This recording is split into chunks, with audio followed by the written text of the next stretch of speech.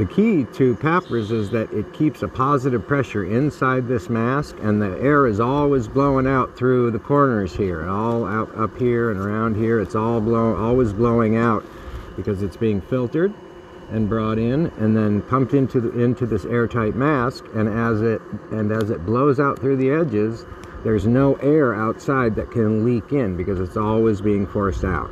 And that's what positive pressure is. So I wanted to explain that and um, wanted you to be able to hear what it's like to talk with it on and to uh, what it's like to how loud it is uh, from the outside when someone has it on and they're talking. The you can hear the unit as it's going at its normal normal rate